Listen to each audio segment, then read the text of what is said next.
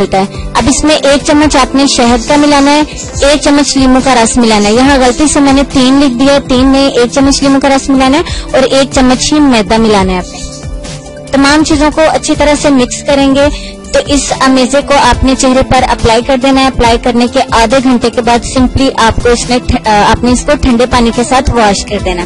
اس سے یہ ہوگا کہ آپ کا چہرہ اگر بے رونق ہے، جلد ڈھلکی ڈھلکی سی ہے یا ہلکی پھلکی جھریاں ہیں، تو ایک دم سے آپ کا چہرہ شفاف ہو جائے گا، نکھر جائے گا اور ہلکی پھلکی جھریاں جو ہے وہ ختم ہو کے آپ کی اسکن ٹائٹ ہو جائے گی۔ ٹھیک ہو گیا، یہ ماسک آپ کے لیے، عید کے لیے بہت بیسٹ رہے گا۔ آپ اس کو لازمی اپلائی کرے گا۔ عید سے دو دن پہلے کر لیں، ایک دن پہلے کر لیں یا عید والے دن کر لیں، اس سے ان شاء اللہ تعالیٰ آپ کو فوری ریزلٹ ملے گا۔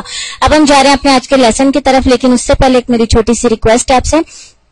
کہ جن ویڈیوز کے کمنٹس میں نے ابھی تک جو ہے وہ ریپلائی نہیں کیے، اس کے لیے میں تمام فرینڈ سے تھوڑی معذرت کرتی ہوں کیونکہ بہت زیادہ مصروفیت کی وجہ سے میں کمنٹس کو دیکھ نہیں پا رہی ہوں۔ تو آپ لوگ ایسے کمنٹس سے اوائڈ کریے جن کے سوالوں کا جواب میں ویڈیو میں آلریڈی دے چکی ہوں۔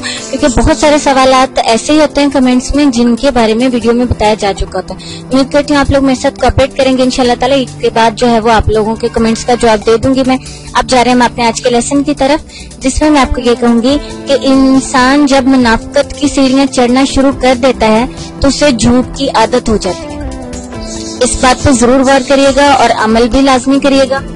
اب اس کے ساتھ ساتھ ہمیشہ کی طرح آپ لوگوں سے میں اجازت چاہوں گی اور چھوٹی سی ریکویسٹ کروں گی کہ پلیز مجھے اپنی دعا میں لازمی یاد رکھیے گا، اپنی صحت کا، خوبصورتی کا اور اپنے والدین کا ڈھیر سارا خیال رکھیے۔ اتنی محنت سے ویڈیو بنائی ہے، ایک لائک تو بنتا ہے نا۔ اور دوسرا یہ کہ آپ ہمیں اتنی بڑی دنیا میں دوبارہ کیسے ڈھونڈیں گے؟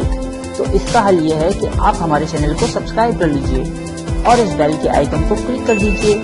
اس طرح ہمارے آنے والی تمام ویڈیوز آپ تک پہنچ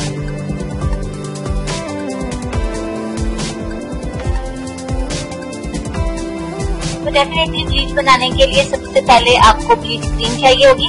میں یہاں پہ اولیویا بلیچ کریم استعمال کروں گی۔ آپ کے پاس اگر جار ہے تو آپ اس میں سے اپنی کوانٹٹی کے حساب سے لے لیجیے اور میں یہاں آپ کو ساشے دکھا رہی ہوں، وہ اس لیے